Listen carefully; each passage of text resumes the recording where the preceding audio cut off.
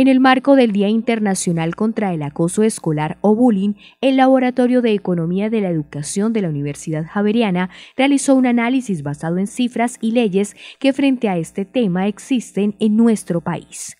Allí se destacó que en Colombia el 11% de los estudiantes de 15 años indica que fue golpeado o empujado por otros compañeros del colegio, cifra que se encuentra varios puntos por encima del promedio de otros países de la OCDE, que frente al mismo indicador están en un 7%.